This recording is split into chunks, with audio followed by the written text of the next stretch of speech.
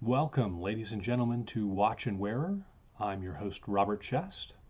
I'm going to start this episode off today with a quick Who Are You Wearing?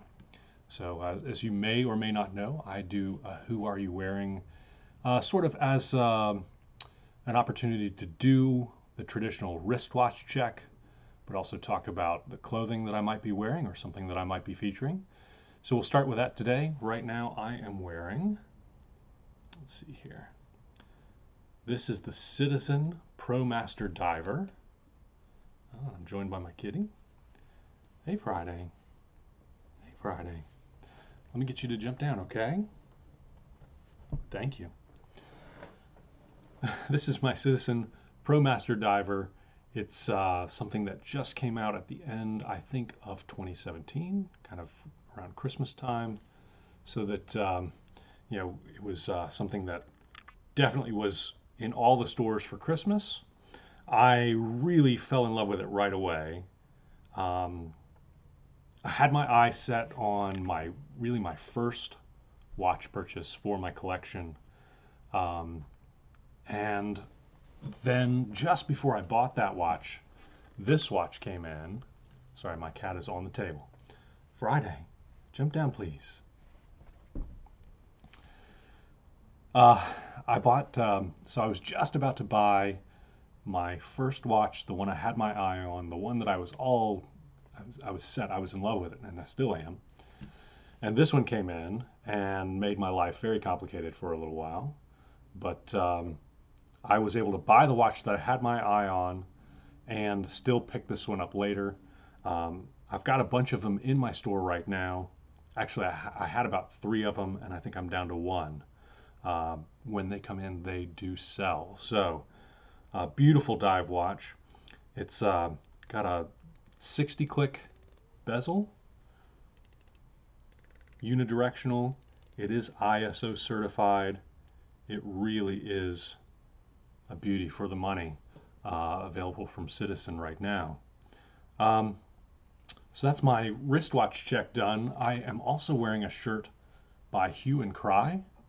Uh, that's H U G H, the little ampersand symbol, C R Y E.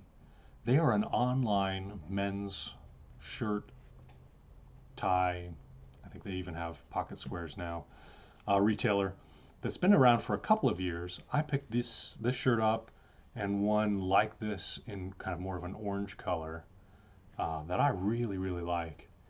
It's got a nice high tight button-down collar, a couple of buttons uh, at the uh, at the top here. I mainly wear it uh, as kind of like a sport shirt, just something without a tie. But I have worn it under a blazer or a like a blue sport coat.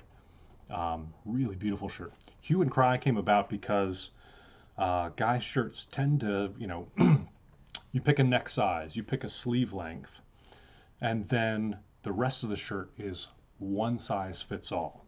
And Hugh and Crye was an attempt to try to um, get a shirt to fit a little bit more tailored. So they, I think they came out with nine sizes for each neck size, essentially. Um, so you you pick one of three uh, shirt shapes. I think there was like a a really skinny version, and then like a, a sort of a slim fit version, which is what I wear, and then more of a athletic, so you know, big on top, skinny waist kind of thing.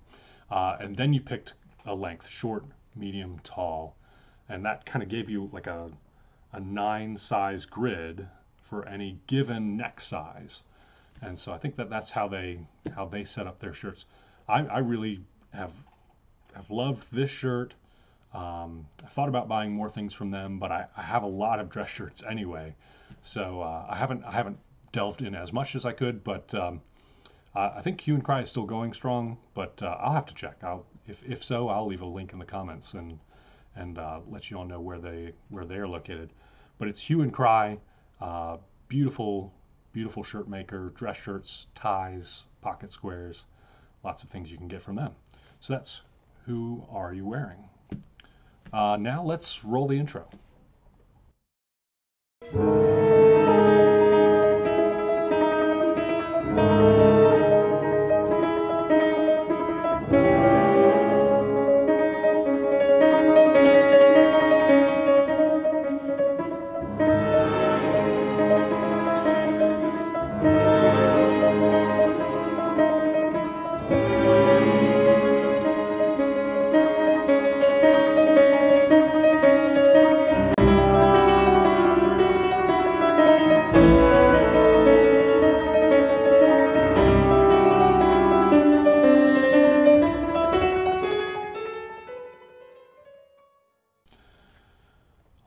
Welcome back. Uh, once again, this is Watch and Wear. I'm happy you're here with me today. This is my this is actually my second uh, all-time video for this podcast. Uh, so I'm really excited about it. I'm, I'm just getting started, but uh, hopefully it's something that you're going to find interesting. There's going to be interesting content coming up, so make sure you come back to join me for that. Uh, what I want to do today is to talk about uh, essentially something that I'm going to make maybe into it like a segment when I talk about a watch, but I'm calling it the breakdown. Now, what is the breakdown? The breakdown is essentially the idea that certain watches will pair well with certain portions of your wardrobe based on how dressy or casual they are. Um, so I've, I've essentially broken down, hence the name, uh, men's fashion into 10 categories uh, by how dressy it is. And that's going to give me an opportunity to talk about watches in terms of the breakdown so that you'll know all right, this watch works well with dressy items in these certain categories or casual items in these other categories. And hopefully, it's going to kind of give you some guidance on how to wear sp- specific watches or specific types of watches. Now, not every watch within a, a broad category is going to fit into the breakdown exactly the same way. So I might sometimes give like broad categories, like a diver, right, might fit into the breakdown in a certain way theoretically. But you have divers that are more dressy, divers that are more of like a tool watch, a little bit more that work more with casual wear. Uh, so I'm going to be specific on different watches and tell you where I think, and once again, this is my opinion, where I think they fit in on the breakdown. So let's start with the, uh, the breakdown. I'm going to give it to you uh, 10 steps from dressy to casual. Number 10, what I'm, what I'm calling the, uh, the sort of the top of the pyramid here, the most dressy style that, that basically would fit into a men's wardrobe. And I'm going to group two things here that, that you could treat separately, uh, but I'm going to treat them as one thing. Um, some of you will say, well, this is only one thing, but uh, really two. But tuxedos and white tie and tails, those are really two things in my mind, two different things uh, that might might justify having their own category, but with only 10 categories, I, I don't really have the space to spare. Um, one thing to note white tie and tails, generally speaking, is considered the most formal thing that a man can wear. Um, it consists of a white bow tie, white shirt, white vest, um, uh, or sort of like a waistcoat. Um, and those tend to be uh, either like a very fine, um, like poplin cloth, or sometimes they're textured with what's called a pique texture uh, which just means it kind of has uh, a little bit of like a, well, not not knit, but uh, kind of something. It's a woven that almost looks like a knit. It has a texture to it. Um, a little bit difficult to describe. At some point, I'll give you uh, you guys an idea of what I'm talking about because I have one of these things um, and can can show it off at some point later in the future. Uh, so come back to see me in white tie and tails. Um, but generally, it's worn with a tailcoat, which is a tuxedo that in the front ends um, just above the waist and in the back extends into two tails. Now, you often see this uh, used by maybe conductors uh, of an orchestra, or sometimes a piano soloist will come out uh, in white tie and tails, um, or very, very formal parties. I, I bought mine to go to a, a masked ball uh, that I had a lot of fun at up in uh, New York State. But that's neither here nor there. Um, so every time I wear it, I get the kind of uh, butler, uh, are you a groom at a wedding? Um, or a lot of people thinking about the guy who's the piano soloist will sort of do the little gesture where they uh, sort of flip the tails back as they sit down. Uh, people have a lot of fun when I wear that, uh, which I do on special occasions for uh, for things like um, fine jewelry trunk shows and things. I, I like to dress up and, and really make a, a show of it. But anyway, so white tie. Now, generally speaking, white tie entails you traditionally would not wear a watch uh, with that outfit. But I think uh, uh, like the nicest, most uh, most dressy dress watches might possibly work for that. For a tuxedo, uh, which I'm putting in the same category, uh, normally you would be looking at a watch that sticks to um, gold, silver, white, and black. A nice dress watch, something that would slide under the cuff very easily, meaning that it's uh, it's thin, it's not it's not that tall, so it slips underneath the cuff of your French cuff very easily and is sort of tucked away until you need it. Um, that's generally what's considered appropriate. Obviously, uh, James Bond, uh, in his various incarnations, has worn more tool-oriented watches, like a diver with a, a with a tuxedo. Uh, and I think that there's room for that, but not with every diver watch. So you want to be careful there. Um, so that's number 10. That's the tuxedo white tie tails. I'll, I promise I'll move a little bit faster here. Uh, number nine, the next most dressy, uh, would be tailored or couture suiting. So think something really, really high end in, in suiting or tailored either something that's made from scratch uh, just for you um, or something that comes slightly unfinished. I was uh, in a men's men's suit store uh, where they were selling um, suits, really really nice suits. Uh, Hickey Freeman, as a matter of fact, and the Hickey Freeman suit is going to come only partially finished. So especially like at the cuff, where a lot of times people have to have the length altered. Um, it was not completely finished. Other places, you know, it was it was left unfinished because it's going to be tailored specifically to you. Um, couture suiting might be something more like uh, like a Tom Ford or you know something that's really got uh, a lot of sort of a haute couture uh, look to it. Um, so I'm going to do a category for those, uh, separate from number eight, which is formal suiting. Uh, basically, your traditional suit and tie, like you might buy off of the rack at a department store or at a men's store. Um, so I'm calling that formal suiting. Um, but generally, formal suiting is going to be dressier than just wearing, uh, you know, a suit and tie like you might to work. Uh, number seven is business attire, which is going to be suit and tie. Now, if my list seems a little skewed towards the dressy side for you, it might be because you tend to live more on the casual side, and that's fine. Um, uh, we're going to get to the casual side, but bear with me, and, and you'll see where I'm going with this. Uh, but business attire is number seven. Uh, so suit and tie, traditional business attire.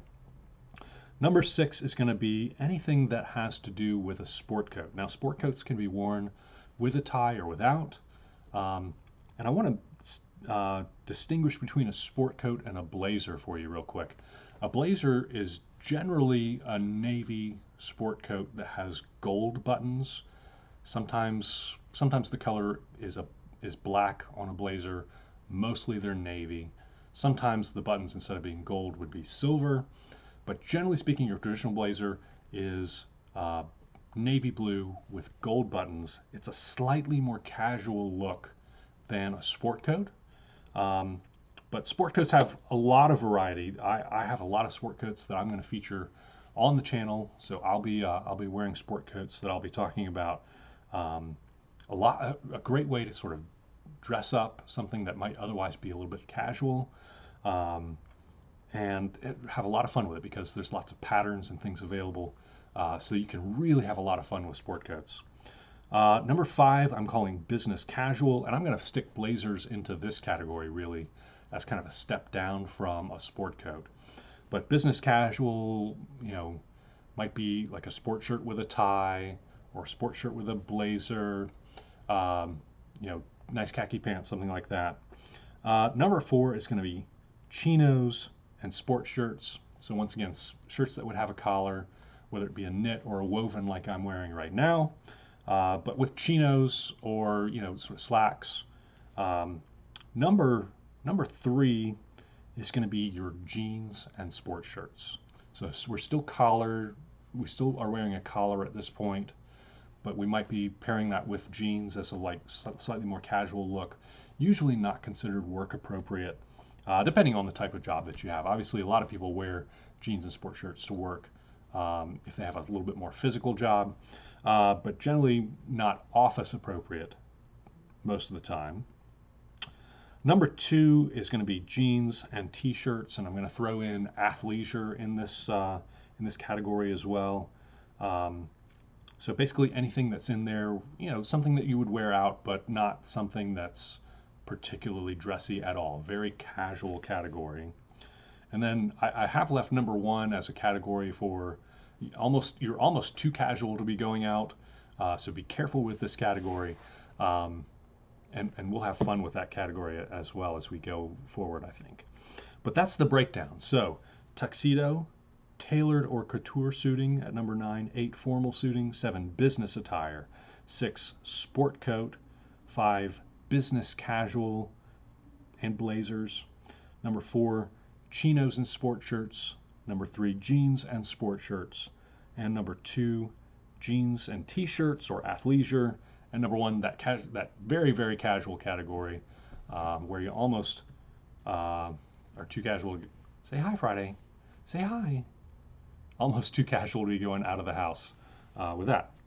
So that's the breakdown. Just to give you an idea of how I'm going to use that, let's talk about this diver watch right here, my Citizen Pro Master Diver that I was telling you about earlier. Um, this, for a diver, is a fairly casual watch, um, but something that you could wear in like a business setting. Oh, hi, Friday you could wear in a business setting. So I'm going to say that this one would definitely be appropriate all the way down into the jeans and t-shirts area, where really because it's got this sort of um, this sort of gear um, gear edge to the bezel. Uh, it's just a little bit more casual. I would totally uh, feel comfortable wearing this with jeans and t-shirts. Um, but it really goes far on up the scale uh, I would say that this would be appropriate all the way up to business attire, which is number six. Um, no, sorry, number seven, business attire. So probably too casual for formal suiting, for your most formal suitings. It's got the orange, um, the orange second hand there, the blue color, like I said, the sort of gear edge bezel. It's just a little bit too um, too casual for those those nicer categories, but a very versatile watch. And and divers tend to be versatile, so I'm going to give this uh, a two to seven on the breakdown. Uh, so that's how the breakdown will work to give you an idea. Uh, this diver's watch will be a two to a seven. And we'll talk about each watch that I feature on the channel and probably most of my wristwatches while I'm at it uh, to give you an idea of how I think that they fit best into your wardrobe.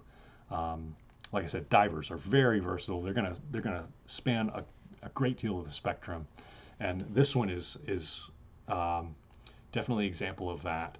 Uh, from all the way from number two, jeans and t-shirts, up to uh, you know dressing for work. Uh, super super versatile. All right, I do have a couple of other things that uh, that I want to talk about. Um, so we've done our we've done our who are you wearing um, segment already. I'm going to tend to put that at the front uh, before the intro. But uh, I do have a couple other segments that I've promised you guys. So the first segment that we're going to do after uh, talking about the breakdown is Robert's Rules of Order. Once again, Robert's Rules of Order, in case you don't know, is a parliamentary procedure handbook. Uh, one of uh, a few different resources that you have for setting up parliamentary procedures. If you don't know what that is, look it up on Wikipedia. That's fine. I'm co opting that name because my name is Robert. Uh, and so these are sort of rules that I have for watch wearing. Um, and the first rule that I want to give you guys, and it is an important one, uh, is this buy a watch because you love it and not for any other reason. Um, there's a lot of reasons why you might buy a watch. You might walk into a store and see something that you think, wow, that's a great deal. Uh, I've done this before. that's a great deal. Oh, I should I should buy that. I should snatch that up. But when I really stopped to think about it, I wasn't in love with that watch. I was in love with the idea of getting a deal. But here's what's going to happen when you do that, guys. It is going to sit there and you're not going to wear it, and eventually you're going to end up getting rid of it, and you will have probably sold it for less than you bought it for almost always, uh, even, no matter how great a deal you got on the watch. If you don't love it, uh, it's it's something that's not going to bring you the kind of pleasure uh, that owning a watch really should. So, buy a watch because you love it, and not for any other reason. Um, so there you go. That's Robert's Rules of Order number one, uh, the prime directive, if you will. Um, so there you go. Uh, more Robert's Rules of Order in upcoming episodes. Stay tuned for that. Um, the, the last thing that I'll do is I will talk about my watch crush of the moment. Now, if you uh, if you saw my last video, I think I talked about the new reinterpreted Seiko diver that's sort of a reimagining of the very first Seiko diver that they released.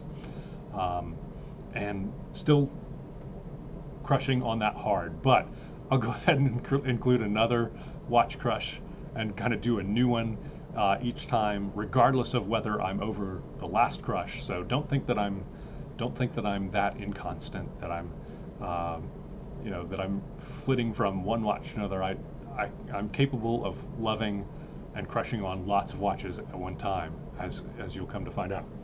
Uh, but just to share a new one with you, one that I really, really am thinking about adding to my collection. I'll put a I'll put a picture up, um, probably over here. I'll put a picture up in a second, uh, but this is going to be the Citizen Signature Collection Grand Classic Automatic. The uh, reference number is NB0040-07A.